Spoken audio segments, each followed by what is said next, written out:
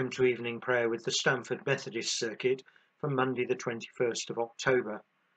During this week of prayer and reflection, our scripture readings will be following those recommended for each day in the Methodist Church Prayer Handbook from the Gospel of Mark. And I'll also be weaving into our prayer times some resources and reflections for One World Week, which for many years has been observed at this time of year.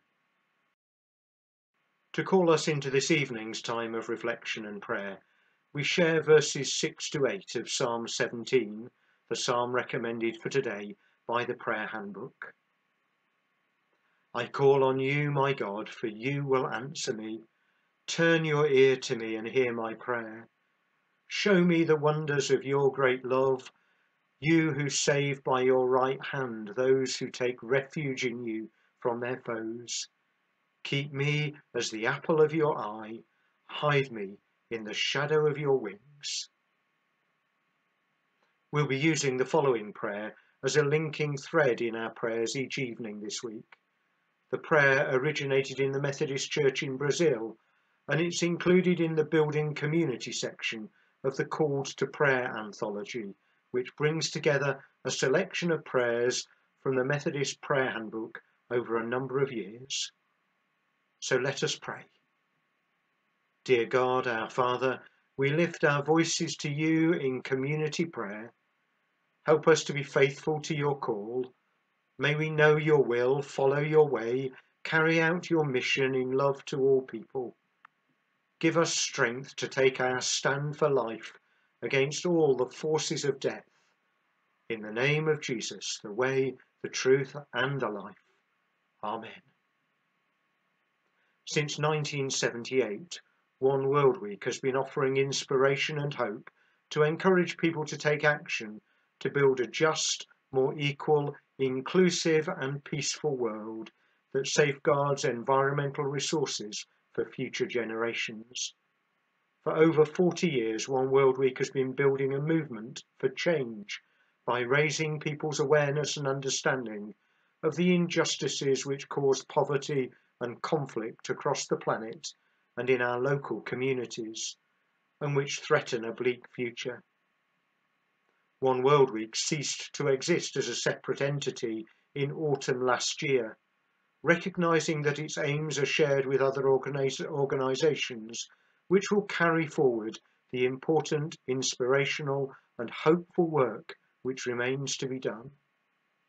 Despite One World Week ceasing to exist as a national organisation, One World Week is still being used as a banner for a week of displays and activities at Stamford Arts Centre this week, with the theme Community, celebrating what it means to you. Today's hymn, recommended by the Prayer Handbook, is Charles Wesley's Come Sinners to the Gospel Feast let every soul be Jesu's guest. This version with British Sign Language interpretation was recorded by the Oxford Methodist Circuit.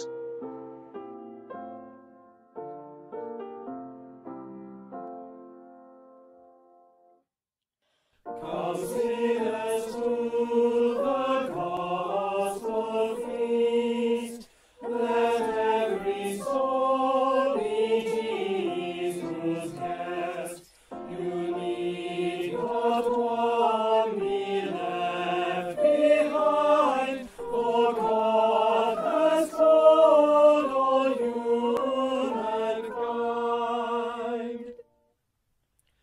all you souls, by sea.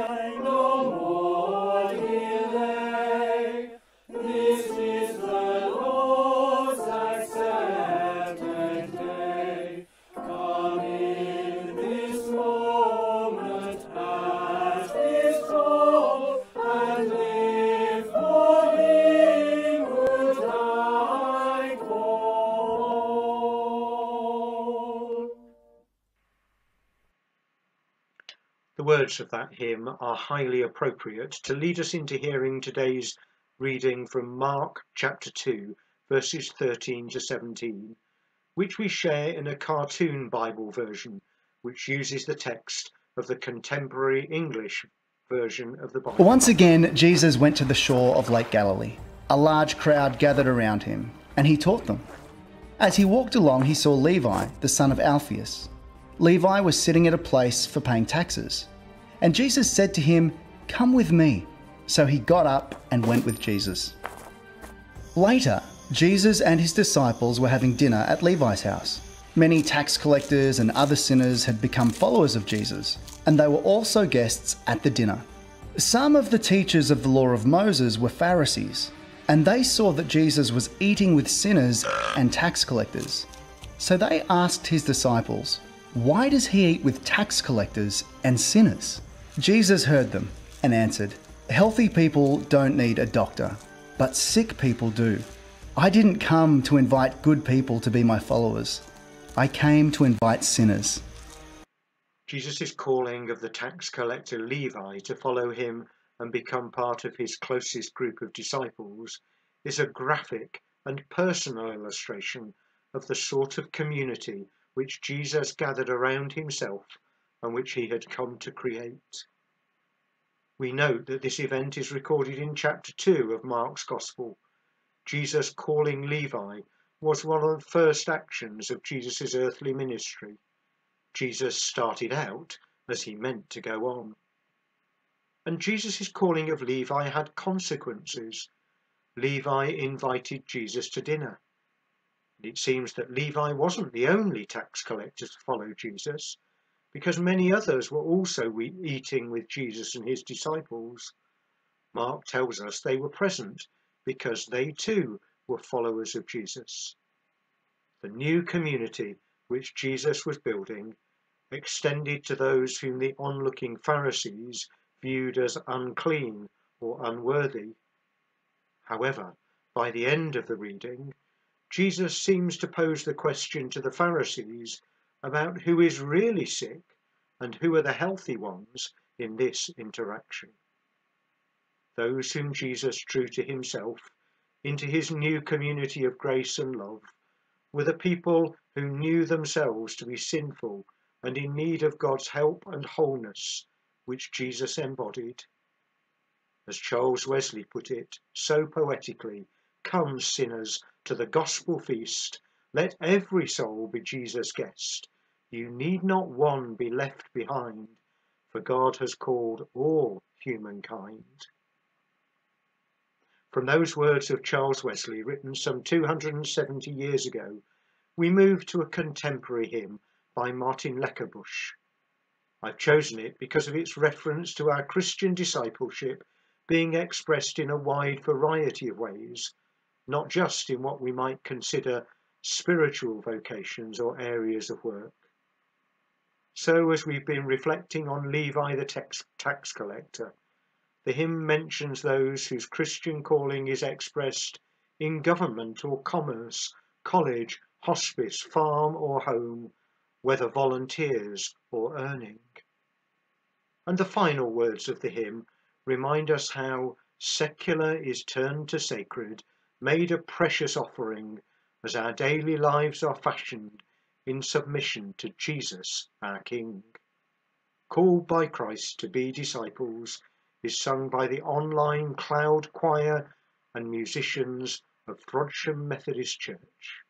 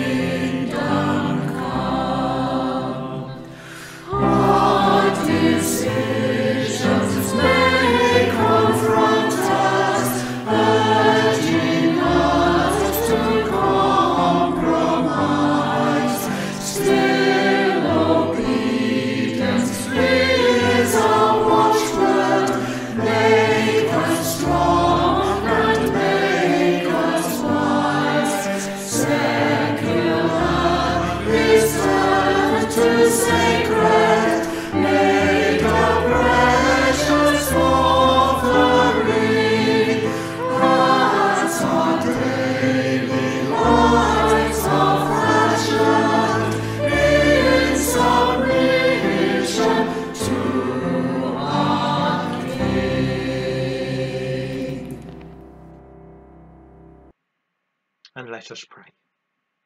God of all humanity, in a world full of fear, open our hearts to your love.